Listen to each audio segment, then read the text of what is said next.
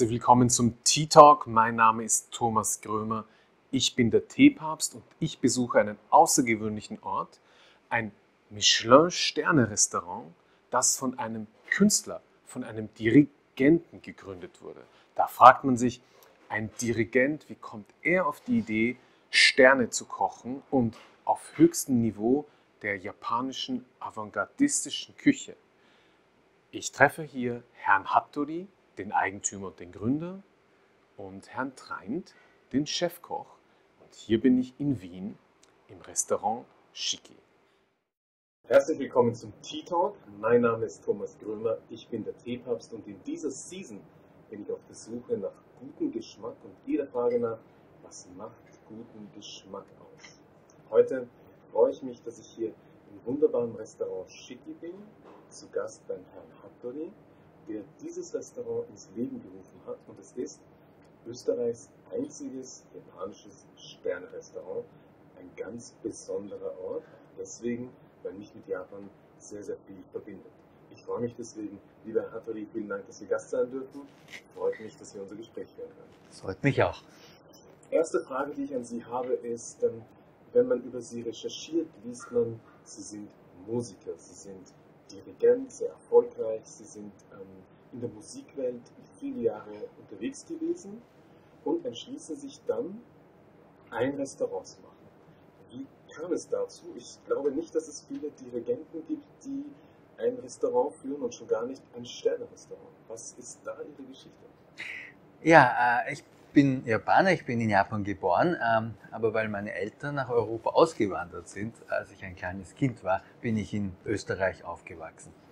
Und ähm, äh, meine Eltern haben Musik geliebt, meine Mutter war Geigerin und äh, ich liebe natürlich auch die Musik, aber das äh, war irgendwie ein also Teil meines äh, äh Upbringing, also äh, das, also als in der Kindheit immer sehr viel Musik zu hören und ich bin dann auch Musiker geworden. Ja weil ich anscheinend die Begabung dazu hatte. Ähm, aber ich habe in meinem Beruf als klassischer Musiker, klassischer Musiker der westlichen Musik, immer ähm, etwas ähm, vermisst, und zwar, äh, dass ich eigentlich meine japanische Seite äh, einbringen kann in meine Arbeit. Und es gibt so viele andere Berufe. Wenn ich zum Beispiel ein japanischer Architekt in Europa wäre, dann könnte ich sicher hier arbeiten und trotzdem japanische Designelemente einbauen in meine Arbeit. Oder, oder wenn ich ein Anwalt wäre, äh, dann könnte ich äh, äh, europäische Firmen oder helfen, die, die japanische Kunden haben. Wenn ich ein Arzt wäre, könnte ich vielleicht auch asiatische Medizin einbringen in meine Arbeit. Aber als klassischer Musiker, wenn ich in Wien an der Staatsoper Mozart dirigiere, da gibt's überhaupt nichts Japanisches, was ich dabei machen kann. Und, und diese Seite hat immer nach, nach einem zweiten Standbein, nach, einem, nach einer zweiten Lebensaufgabe gesucht. Und, äh, und da, daraus ist dann das Restaurant entstanden, weil äh, gutes Essen und Kulinarik auch meine zweite Leidenschaft neben der Musik war, schon seitdem ich ein kleines Kind bin. Aber Sie haben jetzt nicht irgendeinen Imbiss eröffnet, sondern einen Gourmet-Tempel hier mitten in der Stadt Wien, ein Michelin-Sterne-Restaurant. Also Qualität und Geschmack scheint Ihnen außergewöhnlich wichtig zu sein. Ja, also die Leidenschaft war ja nur für außergewöhnlich gutes Essen. Ja, schon, äh, und äh, ich wurde schon ausgelacht als, als Kind, weil ich immer angeblich nur das Teuerste. Ja. Also wenn Thunfisch muss es das Toro sein und wenn, äh, äh, aber trotzdem, ich meine, als Kind weiß man nicht, ob etwas teuer ist oder nicht. Und sogar angeblich habe ich sogar Kaviar geliebt als Kind. Also, weil die meisten Kinder finden das komisch und zu salzig und so. Ja, und ähm, also äh, wenn schon, denn schon. Also ich wollte dann eigentlich auf Anhieb das beste japanische Restaurant in Österreich gründen, was natürlich nicht einfach ist. Ähm, es gibt, es gibt einen Witz in der klassischen Musik äh, über Bratschisten, ja, über die man sich oft lustig macht. Und er heißt, ähm, ein Bratschist gibt eine Anzeige in der Zeitung auf und darauf steht, international bekanntes äh, erstklassiges Streichquartett sucht erste Geige, zweite Geige und Cello. also eigentlich ist er allein, ja. Und schon, es steht aber fest, das ist ein ganz wundertolles internationales Quartett. Und genauso war das für mich so irgendwie das beste Restaurant Österreichs, also für japanische Küche, sucht. Aber da war alles, nicht? Vom Manager, Küchenchef, Sous-Chef äh, und so weiter. Ja, genau. Aber irgendwie, also ich habe nur mit einem Anspruch angefangen und eigentlich ziemlich bald habe ich diese Location gefunden, äh, ganz nahe der Staatsoper. Ja. Und äh, weil, Sehr gut, ja, ja. aber weil die Immobilie auch nicht klein war, ist das Projekt sogar etwas größer geworden, äh, wie ich mir das vielleicht äh, vorgestellt hätte. gab es ja vorher auch ein Restaurant drin. Ja, richtig. Genau. Ähm, da haben Sie alles verändert, was es hier vorher drin gab. Also Sie haben ja alles, also aus Sicht des Gastes, alles neu gemacht, alles auf ein neues Level gebracht und trotzdem nicht dieses japanische, nicht diesen japanischen Touch verloren, sondern im Gegenteil, es ist sehr elegant japanisch gemacht. So ist zumindest der Eindruck. Das war von Anfang an Ihr Ziel. Ähm, ja, also ich, ich, ich wollte eben kein traditionelles japanisches Restaurant gründen, weil ich gewusst habe, dass ein japanisches Restaurant mit traditioneller Küche äh, eigentlich nie besser sein könnte als in Japan. Also nicht einmal gleich gut. Ja, also allein wegen der Zutaten, aber auch, äh, weil die meisten japanischen Köche gar nicht inter interessiert sind, Japan zu verlassen und im Ausland zu arbeiten.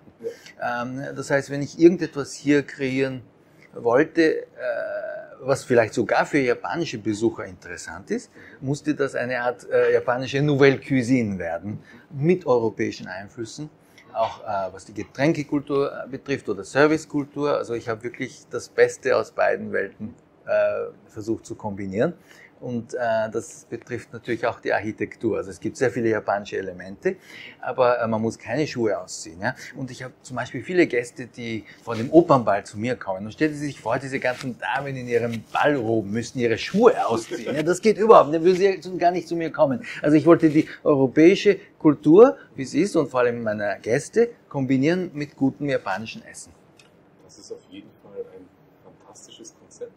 Sie haben gerade erklärt, als Kind schon hatten Sie sozusagen immer den Zug zum guten Geschmack und automatisch immer die teuersten und die besten Sachen geschmeckt.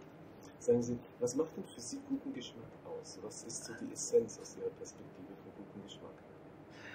Ähm, also ich glaube, das ist etwas, äh, was man wiederholt essen möchte oder trinken möchte. Äh, ist eigentlich normalerweise wirklich gut, weil äh, es gibt viele Geschmacksrichtungen, die vielleicht auf den ersten äh, Schlag, also beim, beim ersten Probieren, ja, sagen, wow, ja, aber, aber wenn man schon drei oder vier Bissen gemacht hat, wird das immer langweiliger, dann ist es eben nicht gut.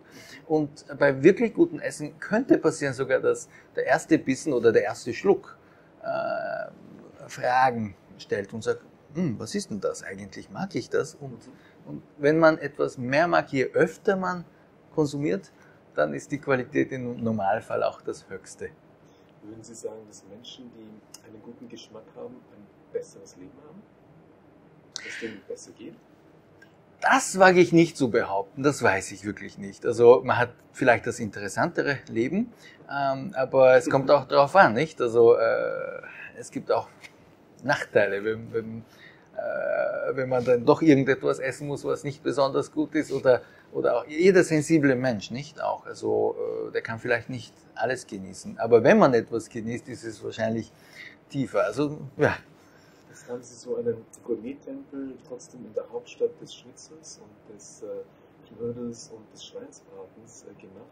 Die traditionelle österreichische Küche ist ja sehr weit weg von der japanischen Küche, sage ich jetzt mal. Ein ganz anderes Geschmacksprofil. Ja. Ähm, was würden Sie sagen? Haben die Österreicher dazugelernt? Haben sie umgelernt? Oder haben sie so viele internationale Gäste, dass sie sagen, es kommt gar nicht so sehr auf die Österreicher an sich an, weil wir ohnehin sehr internationale Gäste begrüßen dürfen? Also je mehr Zeit vergeht, desto mehr österreichische Fans haben wir also hier und sind auch weniger angewiesen auf äh, internationale Besucher. Äh, und Gott sei Dank ist die Pandemie erst äh, nach fünf Jahren Schicki gekommen und nicht am Anfang. Also am Anfang war ich tatsächlich, äh, also äh, was das Geschäft anbelangt, zur Hälfte abhängig von, von inter internationalen Gästen in der Stadt. Und das sind wir inzwischen nicht mehr, weil doch sehr viele Wiener nach mehrmaligen Besuchen erkannt haben, was wir bieten und dass es was anderes ist. Aber ja, wie gesagt, was ich vorhin gesagt habe, also bei guter Qualität sollte die Wiederholung eher immer einen Fortschritt äh, machen. Sie haben Mhm. vorhin ähm, äh, etwas Interessantes erwähnt, nämlich Mhm. zuerst äh, selten internationale Besucher, jetzt mehr, mehr österreichische Besucher. Ja. Darf ich Sie kurz fragen, ähm, die Auszeichnung des Michelin-Sterns haben Sie ja für ein neu eröffnetes Restaurant, würde ich sagen, relativ schnell erhalten. Nach drei Jahren war das, ja. Das ist flott, das Ja. ist äh, ein, ein toller Erfolg.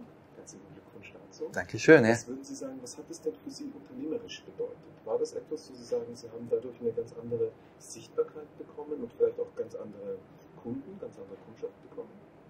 Ähm, ja, also danach hatten wir schon äh, wieder einen, äh, wie sagt man, Aufschwung äh, von internationalen Gästen und also wirklich Gourmet-Reisende, äh, die zu uns gekommen sind.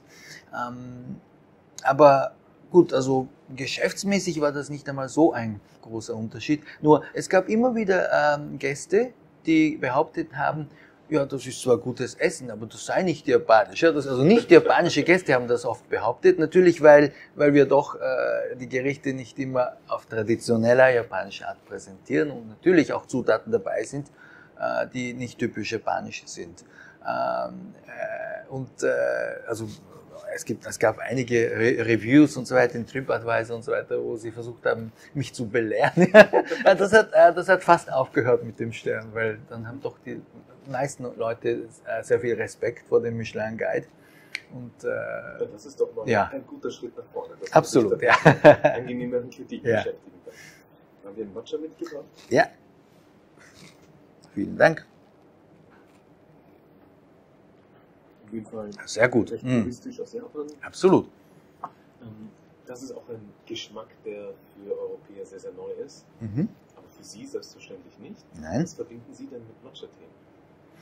Ähm, es gibt ja das Koicha und das Usucha, also das ist das Usucha, was ja ähm, äh, viel mehr verdünnt wird. Das schmeckt mir wirklich gut, ganz ehrlich gesagt, und das äh, behaupten auch die, viele andere Japaner, nicht nur ich. Äh, haben ein bisschen Schwierigkeiten, das Koicha, nicht also was eigentlich bei der traditionellen Teezeremonie getrunken wird, äh, äh, zu mögen äh, oder zumindest für den täglichen Gebrauch, weil das so stark ist, nicht? Ja ist ein Angriff auf den Gaumen. ist ein Angriff, genau, ja, und hat natürlich, äh, äh, wenn, auch das ist Gewohnheitssache, wenn man das öfters macht, kann man das auch lieben lernen. Ähm, aber das Ustucha, also äh, finde ich fantastisch, nicht? Und ist, ist gesund und äh, weckt auf, ein bisschen wie der Kaffee. Äh, aber eigentlich äh, ist es langhaltender als Kaffee. Ein erfolgreicher Musiker, ein erfolgreicher Dirigent, der die gesamte Verantwortung trägt für das Orchester, für das Konzert, für den gesamten Saal, wird Unternehmer. Ist jetzt mal vielleicht kurz aus der Business-Perspektive auch überraschend. Ich habe da verstanden, dass Sie gesagt haben, die japanische Motivation. Sie haben hier eine großartige Kultur als ähm, Erbe, dass Sie die natürlich ähm, entsprechend würdigen möchten. Finde ich ein großartiges Mhm. Motiv. Aber trotzdem nochmals als Unternehmer zu arbeiten, ist ja schon eine ganz andere Herausforderung. Da Ja. mögen Sie uns da ein bisschen mitnehmen, wie sind Sie da zu dem Entschluss gekommen, wie sind Sie zum Unternehmer geworden? Waren Sie vielleicht immer schon Unternehmer und wir wussten es nur noch nicht? Ähm, ich glaube, ich war immer eine Unternehmer-Natur. Ja. Und ich bin gerne Unternehmer und deshalb habe ich als Musiker auch oft äh, ganz kleine Festivals und so weiter, aber wirklich selber organisiert, wo ich mitbestimmen konnte, äh, in, welch, äh, in welcher Zielgruppe man ver vermarktet oder, oder eben welche anderen Künstler man einlädt und so weiter. Also ich pro als Produzent äh, und ähm, also ich glaube, egal ob als Künstler oder jetzt in dem Fall auch als Gastronom, äh, ich möchte einfach selber entscheiden, was den Kunden oder den Zuhörern angeboten wird. Und das geht ja nur, indem man auch als Unternehmer tätig ist. Nicht, wenn man angestellt ist in einem Opernhaus, das habe ich auch schon erlebt, äh, dann kann man zwar sich hineinsteigern in die Arbeit und, und dirigieren, aber bestimmen tut hier jemand anderer, in dem Fall ein Intendant. Und äh, ja, also ich bin sehr gerne Unternehmer und auch die Tatsache, dass ich ja nur von meinen Kunden abhängig bin, ja, und nicht, also wenn man als Arzt in einem Krankenhaus arbeitet, dann ist seine Karriere nicht nur abhängig von den Patienten, ob sie zufrieden sind, sondern von vielen anderen Aspekten. Aber hier, wenn ich mein Restaurant unternehme, äh, hier bin ich ja der Chef, also hier kann ich entscheiden, was ich will. Und, und, und äh, wovon ich abhängig bin, ist die Zufriedenheit meiner Kunden. Aber sonst nichts. Was würden Sie sagen, sind so die drei, Sie machen das seit 2015, sicherlich haben Sie schon vorher begonnen mit allen Vorbereitungen den Tunnelbauarbeiten. Ich glaube 2014 haben Sie schon angefangen. Genau, ja. Ähm, was sind denn in diesem Jahr, 2014 bis 2021, sieben Jahre ähm, Schicki inklusive Vorbereitung, was ist denn da so drei Learnings, die Sie als Unternehmer vielleicht teilen möchten? Wo Sie sagen, da habe ich als Unternehmer dazugelernt oder eine große Erfahrung gewonnen oder vielleicht Ja. auch ähm, ja, eine, eine schwierigere Zeit überwunden. Also das, was ich am meisten gelernt habe, ist, äh, ja, also wie man ein guter Arbeitsgeber ist.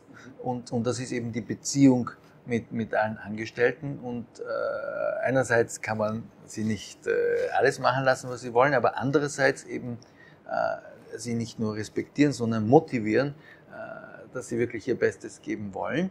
Und das ist eben eine Frage der Beziehung, nicht? Und sehr, sehr interaktiv. Und da geht es eben nicht nur ums Entscheiden, sondern eben auch gut zuhören können und so. Äh, gut, in gewisser Hinsicht muss das ein guter Dirigent auch können, aber der Dirigent ist eben nur, äh, also wie sagt man, jeweils bei einem Konzert oder für ein Projekt der Chef des Orchesters, aber nicht die ganze Zeit. Und als Arbeitsgeber ist man das die ganze Zeit und da ist die Beziehung mit den Mitarbeitern noch viel, viel tiefer äh, und auch komplizierter, aber ich glaube, ich habe wirklich viel gelernt und also ich bin, ich habe sicher noch sehr viel zu lernen, aber eines bin ich mir sicher, also ich war am Anfang nicht so ein guter Arbeitsgeber im Vergleich zu jetzt. Also ich habe ein, ein Prinzip oder äh, das, das, was äh, sich Philosophie bezeichne äh, für mein Restaurant, aber auch wenn ich als Musiker arbeite, ist, dass ich, was ich tue, eben für meine Kunden, für die Menschen tue und es eben sogar positiv empfinde, mich von der Meinung meiner Gäste beeinflussen zu lassen. Also es gibt gerade in der, äh, in, äh, auf hohem Niveau ja, der Musik oder auch in der Gastronomie auch solche Künstler oder eben Köche, die meinen, die müssen einfach der Perfektion und der Kunst dienen. Ja? Und, und wenn es Gäste gibt, die das nicht verstehen können, sollen sie mich in Ruhe lassen. Äh, das ist auch eine gültige Ansicht. Ja? Ähm, und wenn jemand unberechtigterweise äh, etwas kritisiert, dann denke ich da auch so, nicht? Also ich, aber ich versuche schon ähm, auf den Geschmack auch von Menschen äh, einzugehen. Und, und das ist eben das. Also wenn ich ein japanisches Restaurant in Europa gründe, ich wollte eben nicht eins zu eins das machen, was es in Tokio auch gibt, ja, und sagen, meine Gäste müssen einfach lernen und wenn sie das nicht verstehen, dann sollen sie fernbleiben. Nein, ich, ich, habe ich liebe eigentlich die Menschen, die zu mir kommen und da muss ich schon auf ihre Wünsche und auf ihre Gewohnheiten eingehen. Beispiel eben mit dem Ballkleid, da lasse ich diese Dame eben nicht die Schuhe ausziehen. Er sagt, das ist eine japanische Tradition. Äh, nein, also ich überlege mir ein Konzept, wo, äh, wo ein japanisches Architektur trotzdem ohne Schuhe ausziehen funktioniert. Und, und das ist auch beim Besteck so. Also ich wollte von Anfang an, dass man immer westliches und die Stäbchen, also westliches Besteck und Stäbchen immer zu allen Gerichten hinbringt. Weil es gibt immer wieder Leute, die wirklich gerne japanisch essen, aber halt noch nicht gelernt haben, wie man mit Stäbchen gut umgeht. Und, und, äh, und je nachdem, was das ist, müssen sie dann nach, ein, nach einer Gabel fragen und so weiter. Das ist für manche sehr peinlich. Und, und das soll nicht passieren bei mir. Also es wird automatisch immer alles hingelegt und jeder Gast soll sich wohlfühlen und das verwenden, was er will. Das kochen Sie auf sehr hohem Niveau und Sie haben ein Team, das ähm, äh, Ihre Philosophie interpretiert. Ähm, und man sieht das an den Zutaten, die Sie verwenden. Man sieht es an dem ganzen Restaurant, dass Sie, wie wir anfangs schon besprochen haben, sehr Wert auf Qualität legen und dass Ihnen Qualität sehr wichtig ist. Und trotzdem ist jetzt ein Sterne-Restaurant in Österreich noch vom Preisniveau ein bisschen anders angesiedelt als jetzt in Tokio zum Beispiel, ähm, wo Gäste, würde ich jetzt mal sagen und interpretieren, durchaus gewohnt sind, etwas mehr Budget auch auszugeben, wenn sie essen gehen. Mhm. Also sie ähm, essen, äh, wenn sie in Tokio sind, sicherlich auch ausgezeichnet. Da Ja. ähm, sind die Preise dann entsprechend ja, passend zu den Ja. Zutaten und man hat dafür ein gutes Verständnis, weil man auch eine sehr lange Kultur hat, was das Essen Ja. betrifft. Ähm, wie funktioniert das für Sie wirtschaftlich hier in Österreich? Ja, am Anfang war das sehr schwierig. Also in den zwei Jahren Das den ersten, ersten zwei Jahren äh, war es wir- wirklich schwierig. Aber inzwischen ähm, haben meine Kunden verstanden. Also ich habe auch mit meinem Küchenchef oft gesprochen. Er wollte natürlich höhere Preise, damit sich das besser ausgeht. Und, äh, und damit er auch wirklich die besten Zutaten eben für alle Gerichte einkaufen kann. Und äh, na, also wir haben uns dann irgendwann getraut zu sagen, so und so viel kostet es. Und äh, nein, es funktioniert inzwischen wirklich gut. Also die Gäste haben wirklich verstanden. Äh, und es hat sich auf jeden Fall, glaube ich, ja. sehr positiv entwickelt. Ja, absolut. Ähm, sagen Sie, wenn man jetzt in ein japanisches Sterne-Restaurant geht, hat vielleicht der Gast, ja, so erklärt, traditionelle japanische Küche und ein traditionelles Umfeld sind sie nicht. Aber vielleicht hat der Gast, der eine oder andere Gast möglicherweise die Erwartungshaltung, dass da recht viele Mitarbeiter oder Mitarbeiterinnen arbeiten, die aus Japan sind. Mhm, ja. Jetzt haben Sie ja eine sehr internationale oder sehr österreichische Crew, also nicht jetzt unbedingt Japan bei den Mitarbeitern im Fokus und auch Ihr Küchenchef ist nicht Japaner. Genau. Ähm, was äh, ist denn Ihre Antwort auf so eine Erwartungshaltung, die vielleicht Kunden von Ihnen haben könnten? Ähm, also, bevor ich das Restaurant gegründet habe, haben tatsächlich viele Freunde von mir, persönliche Freunde von mir, mich gefragt, ja, woher kennst, kriegst du zum Beispiel japanische Kellner her in Wien? Und ich habe gesagt, ich brauche keine. Und die haben gesagt, warum, warum nicht? Und ich habe ihnen erklärt, also wenn, wenn Herr Robuchon eine, ein Restaurant in Tokio eröffnet, dann laufen nicht irgendwelche französischen Kellner und Kellnerinnen herum, die gebrochen Japanisch sprechen, sondern, sondern japanische Kellner, die in japanischen äh, Hotelfachschulen ausgebildet wurden. So, äh, weil der Service gehört eigentlich zu den Kunden, nicht? Und man muss die Kultur des Kunden verstehen. Also wir brauchen keine japanischen Kellner. In der Küche ist es natürlich etwas anders äh, und vor allem meine zwei Sushi-Chefs sind ja Japaner, also äh, ich habe schon japanische Mitarbeiter, aber in der Hauptküche habe ich am Anfang mit einem japanischen Küchenchef angefangen und ich, ich habe aber nach kurzer Zeit erkannt und Alois war schon damals Sous-Chef, äh, dass er einkaufen muss, also der Sous-Chef einkaufen muss, auch das Team führen muss und, und eigentlich auch viel besser versteht, also wie wie, wie eine Küche einfach äh, in Österreich funktioniert. Und deshalb habe ich einen österreichischen Küchenchef, äh, der extrem in, immer interessiert war in japanischer Küche, äh, so flexibel ist, dass er wirklich alles lernen konnte in diesen Jahren und, und auch eigentlich bescheiden genug ist, weil es gibt so viele Küchenchefs nicht, die würden nur etwas kochen wollen, was ihre eigene Idee war. Und, und also Alois ist da wirklich eine Ausnahme. Er ist ein unglaublich perfekter Handwerker und, und fantastischer Koch mit fantastischen Ideen auch. Aber er hat die Demo zu behaupten, dass er hauptsächlich ein Handwerker ist. Ja? Und, und, und ist einverstanden, dass ich oft hier dann äh, gewisse Ideen einbringe und dass wir zusammenarbeiten können. Also oft komme ich mit einer Idee, was ein Rezept sein könnte. Ich koche ihm etwas vor, dann probiert er das. Aber dann ein paar Tage später produziert er daraus etwas, was noch viel besser schmeckt und sowieso viel besser aussieht. Äh, und ja, also mit dieser Art von Zusammenarbeit, äh, weil ich ja auch involviert bin, äh, war es, also war es möglich, mit einem österreichischen Küchenchef so hochwertiges japanisches Essen zu produzieren. Fühlen Sie sich denn, wenn Sie so lange schon in Wien leben, fühlen Sie sich denn als jemand, der zwischen beiden Welten so ein bisschen lebt nicht ausschließlich Japaner, aber auch nicht ausschließlich Österreicher, sondern fühlen Sie sich so ein bisschen als jemand, der in beiden Welten zu Hause ist? Ich würde sagen, ich bin in beiden Kulturen zu Hause oder ich lebe beide Kulturen als Mensch. Ähm, aber geografisch inzwischen fühle ich mich viel wohler in, in Europa. Ähm, und vielleicht auch was, was äh, die Verhaltensweisen anbelangt. Also ich habe schon so lange nicht mehr in Japan gelebt ähm, und man muss sich da doch irgendwie anpassen. Und das äh, würde mir am Anfang wieder etwas schwer fallen, glaube ich, wenn ich da plötzlich also die ganze Zeit in Japan leben müsste.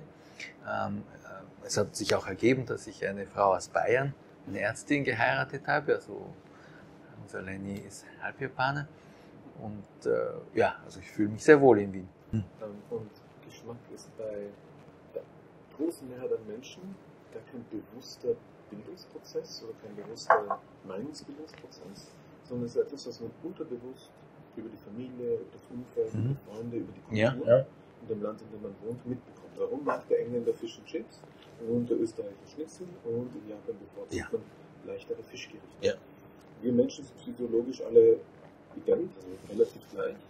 Es sind nur die Gewohnheiten, es ist nur das Umfeld und die Ausbildung zum Geschmack. Mhm. Und ähm, deswegen, ja, meine persönliche Meinung nach ist deswegen bin ich auf dieser Suche nach gutem Geschmack, ist, Mhm. wenn man es schafft, den Menschen guten Geschmack nahezubringen und den Menschen etwas für sich als gut identifizieren oder als wohlschmeckend identifizieren, dann haben sie den ersten Schritt gemacht in eine gesunde Ernährung. Mhm. Ja, Weil zum Beispiel früher in Österreich, wie Sie kennen das äh, sicherlich genauso, der Sonntagsbraten, diese Häufigkeit Fleisch zu essen, ist eine gute Häufigkeit. Einmal die Woche reicht völlig vollkommen, aus. Und Wenn stimmt, man sich stimmt. die japanische Küche ansieht, Ja. die natürlich auch Fleischgerichte hat und so weiter, kein Mensch isst jede Woche Wagyu, Nein. Sondern das ist, keine Ahnung, einmal im Jahr, zweimal im Jahr. Genau, was etwas Besonderes, genau, genau. Und der Großteil der japanischen Küche ist äh, ähm, vegetarisch, ein Teil ist vegan, Genau. Fischelementen und Genau. Fleischelementen. Genau. Und die Vielfalt auch mit, das brauche ich Ihnen nicht zu erklären, aber die Vielfalt in frisch äh, gebacken, gebraten, gegrillt und diese Vielfalt und diese Abwechslung macht es, ähm, finde ich, deswegen möglich, warum das eines der Schlüsselelemente ist, dass Japaner die längste Lebenserwartung haben auf der Welt. Weil es mit die gesündeste, die, Genau. also natürlich ist, isst man ja, wenn ja auch mal einen Burger und so weiter, das nehmen wir jetzt mal außen vor, aber die traditionelle japanische Küche ist die gesündeste Ernährungsküche. Ja. Und es ist sehr spannend, dass Sie sagen, dass das eigentlich ein Schulfach sein soll. Ja. Deswegen finde ich auch übrigens Matcha so spannend, Mhm. weil es ähm, mit anderen japanischen speziellen Lebensmitteln, aber Matcha ist sicherlich, finde ich, der, das Produkt, das es total auf den Punkt bringt. Also Mhm. Ja, aus japanischer Perspektive ist es einfach ein sehr langes, traditionelles und ehrwürdiges Lebensmittel. Aus europäischer Perspektive ist es das Superfood unter den Superfoods. ja, stimmt. Und es gibt kein anderes Lebensmittel, das so starke ähm, antivirale Kräfte hat, kein anderes Lebensmittel, das so starke Antioxidantien hat. Natürlich ähm, ist das jetzt kein, keine Art und Weise ein Produkt so jetzt zu verkaufen, weil es ja kein medizinisches Produkt ist. Aber Aber de facto, äh, im Ja. Zentrum Ja. Matcha-Tee und rundherum eine gesunde japanische Küche mhm. ist die beste Nachricht. ja, ja, das stimmt. Ja, ja. Natürlich Sport. Ja. Hilft auch. Was sagen Sie lieber? Tee oder Kaffee? Kaffee. Kaffee. Ähm, sind Sie lieber Morgen- oder Abendmensch? Beides. Beides? Wein oder Bier? Ah, schon Wein. Schon Wein. ja. Das beste Essen, das Sie jemals gegessen haben, war Äh, das, also, das ist das beste Essen, das ich jemals gegessen habe. Auch das, das sind so diese, immer diese Fragen nach Nummer eins. Ja, wieder mal Lieblings, das Beste. Ähm, äh, das beste Fleisch, was ich erlebt habe, ist nicht einmal Wagyu, sondern das äh, Beota. Äh, also diese, diese spanische ähm, äh, Eichelschinken heißt das. Ähm, also wenn, wenn ich eine Zutat als Lieblingsessen bezeichnen müsste, das war früher der Thunfisch und jetzt ist es der Beota-Schinken. also Fleisch oder Fisch, wäre die Antwort Fleisch. Nein, das nicht. Nein, äh, und, und da muss ich auch sagen, äh, inzwischen immer mehr Gemüse. Mhm. Ah, immer mehr Gemüse. Immer mehr Gemüse. Ähm, kurz andere Perspektive, wo haben Sie das, keine Namen nennen, aber wenn Sie sich daran zugehören, was war denn das schlechteste Essen, das Sie jemals essen mussten? Das schlechteste Essen. Ich glaube, das war Wendy's in Amerika. Klingt auch nach einer ganz anderen gastronomischen Perspektive als hier. Irgendwann bin ich irgendwann in Florida in seinem Laden gelandet. Ja, aus, aus Zeitnot und, und äh, genau. Was ist denn Ihr Lieblingstee? Was würden Sie sagen? Mein Lieblingstee ist japanischer Tee, Grüntee, keine Frage. Die verschieden, also da muss ich sagen, die verschiedensten Arten. Ja, genau. Und weil Sie mich vorhin gefragt haben, Tee oder Kaffee, also ich habe in, in Europa gedacht, also wenn ich in Europa in ein Restaurant gehe, dann trinke ich fast nie Tee, also nie, nie Schwarztee oder, oder äh, Kräutertee, also lieber Kaffee, weil mir das einfach besser schmeckt. Ja. Ähm, äh, aber Grüntee äh, ist für mich äh, mindestens gleichwertig wie der Kaffee und eigentlich noch interessanter, weil es ja noch viel mehr verschiedene Möglichkeiten gibt. Vielen, Dank. Bitte gerne. Dankeschön für Ja. das Gespräch. Es hat Ja. viel, viel Spaß gemacht. Viel Freude gehabt, Sie Mhm. kennenzulernen. Ja,